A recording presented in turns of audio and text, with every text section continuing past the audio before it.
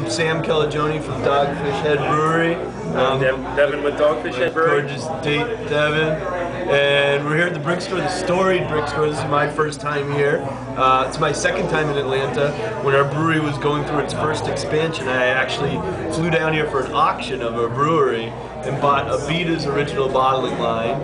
I forget the name of the brewery that it came out of, uh, but somewhere in the outskirts of Sweetwater, maybe, or uh, I'm not sure who it was. I don't think it was them. So that was my only other trip, and then uh, we. I just really wanted to come down and see uh, what's happening down here because Georgia's selling the snot out of Dogfish Head beers. Out of 27 states, I think it's number six in the country for us.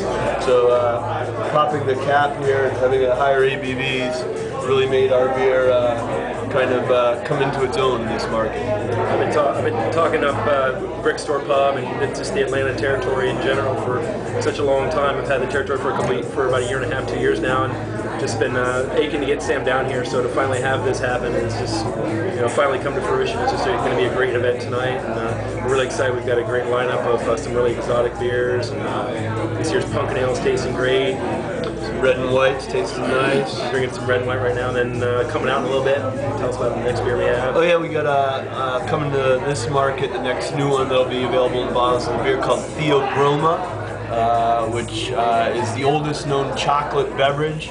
Uh, before beverage was before chocolate was eaten as a solid.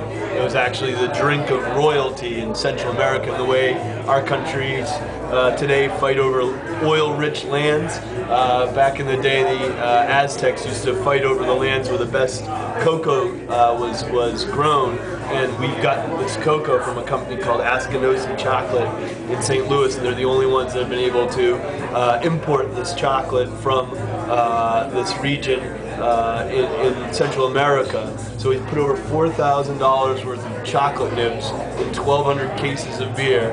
Uh, so it's uh, not exactly a money-making proposition for Dogfish, but the beer tastes awesome, and we're bottling it on the 15th, so we're psyched about that one. And it's also got chilies and honey in it as well. Yep, right? it's got chili, it's got honey. I think it's got three out of four food groups in it. So hide a bottle in your car in case you get in an avalanche or snowed in somewhere. You you could live for like a week off that one bottle of alcohol. Just don't drink and drive.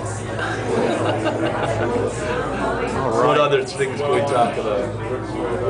What else is new Dogfish? Uh, I've just been working the territory like crazy uh, as far as, you know, I did the Classic City Brewfest this spring and I plan to be at the Decatur Brewfest uh, this fall and uh, have some pumpkin ale there and uh, some stuff like that. So, you know, the two big festivals that are coming to the area, I want to try, try to have a bigger uh, Dogfish Head presence at and try to get some uh, some Theobroma into some of the key accounts like Brick Store and whatnot so you guys all have a chance to try them. And, and then I got to do last night in Savannah. I was really impressed with their uh, beer scenes really starting to catch fire. Uh, Noble Fare, is that where it was? Noble Fare. Really cool little restaurant that was a one-time uh, House of Ill Repute. Uh, although, from what I heard, almost every other house, was house in Savannah at one time it was a house of ill repute, but uh, it was a really cool place. Uh, and this place is just amazing. It's like a wooden, wooden womb, you know? Not a room, it's a womb. That's what it feels like in here. And I've heard so much about it, and the owners are really cool. I got to meet them. I'm psyched to do this beer dinner. Uh, what else? We'll be at the Summit's uh, Wayside Tavern tomorrow night. Oh yeah, another famous uh, place for a beer dinner there. Yep. In uh, Woodstock, Georgia, and then uh, I'll be at uh, in Brunswick, Georgia, doing a dinner at uh, Cargo Portside Grill on Friday night. And just for reference, today is September 9th, 2008. Today is, right. Septem- yep, today is. September 9th. So uh, we've got some, a lot of events down here in Georgia, and then we've got the Decatur Fest in October. Um, lot- lots going on in Georgia. I'm really, I'm really impressed since I've had this territory with the craft beer scene down here. I came down with very little expectations and was really surprised at uh, the amount of people willing to invest in good beer and, and uh, have places like Brick Store and Summits and you know all the great press and, uh, that, that uh, is out there uh, talking about all the good beers that you can find out there. It's, it's a burgeoning market for us, no doubt. Yep, we're selling more beer in Georgia than we are in California. I'm pretty sure California is bigger than Georgia, so I'm pretty impressed. If you could boil the magic of, of the Dogfish Head beers down to one idea or one concept, what, what would you say it is? Why are they so magical and so popular, and why do they speak to so many people? Um, I think because they, they're, they're, I think people can recognize genuine creativity and I don't think our brewery looks to the left or right of us of what our friendly competitors are doing. We kind of follow our own muse, and keep putting the ware in Delaware, and the mental and experimental, and uh, coming up with something new and fun to do. And, and uh, I think that resonates with people because part of what craft beer uh, renaissance is about is promiscuity and cheating on your favorite beer. and uh, and, and uh, that's what we're welcoming people to do. I think I think it really, you know, Dogfish and beers above and beyond other beers tend to really challenge your palate uh, in some cases uh, against the norm and against the traditional styles, and, and really uh, force you to think outside the box as far as you know what you may and you may may take you a few sips. I remember the Festina Peche. I didn't really know what to think at first. Didn't know if I liked it. When your own It's one of my- sales manager one of my take favorite beers. First sip of your beer, go, you know, you might want to think about and, doing and more now, I'm R&D. actually- now I'm completely hooked on the stuff. So uh, and it's it's fun to work for a brewery that you know really challenges the palate like that on a day-to-day basis. Every every time a new beer comes out.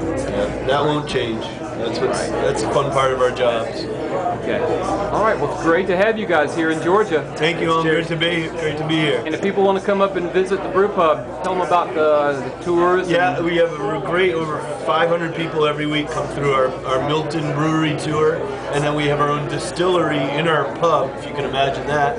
Uh, and you can come watch us make gin, vodka, and rum uh, while you eat your wood grilled uh, food. That's in Rehoboth Beach. That one's in Rehoboth Beach, and all of that information is available at dogfish.com. Dogfish.com. Shameless promotional plug. Yeah, Thank you. Try the veal. We also have the uh, uh, Dogfish at Ale houses in the Metro DC area that uh, in uh, Gaithersburg, licensing, Maryland. uh, different company that runs those, and they're doing an amazing job. So it has our wood grilled food, our beers, including a lot of really special, hard to find vintage stuff, uh, and they do a great job. Up in the serving. DC area, you can check that out Yeah, too. yeah. All right. Good deal.